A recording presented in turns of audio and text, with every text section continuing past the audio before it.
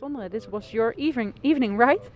Yeah, I think there was the whole team's evening. Uh, to be honest, it was uh, a good game from us. Uh, nice to score six goals. I think it's the first time in uh, I don't know if Vitesse ever scored six goals, but uh, it was nice.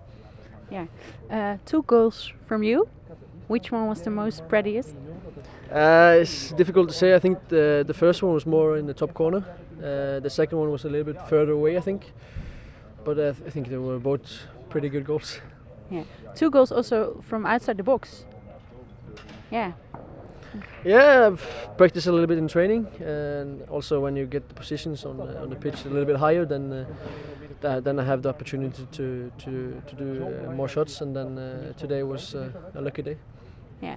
You also said it. Uh, six goals. Um, yeah, this season you didn't score that much goals. Uh, two was the highest in the Eredivisie Mm. in the Eredivisie matches.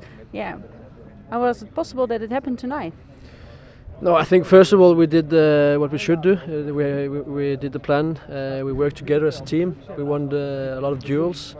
Uh, we came into good uh, positions on the on the pitch, and today we finished it off with uh, some good finishing. So I think that was the reason. I think also before we had the chances, but we didn't really make it the, the last pass or the last shot. Today we did it.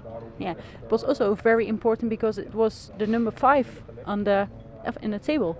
Yeah, it was an important, really important game. Uh, I think we showed today that we, we want to stay up there. Uh, but it's also important that uh, this was only one game. We have to, to keep going like this. Uh, and now we look really look forward to, to Thursday.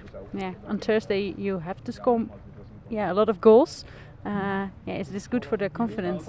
Of course, of course, and it's also nice that the strikers also get goals. Uh, they work really hard for it, and sometimes they miss it. But uh, today they scored, uh, and it's also nice for them. Uh, and we, uh, of course, we, on Thursday we need uh, we need some goals. But I think first of all we need to to bring the confidence from the way we played today into that game.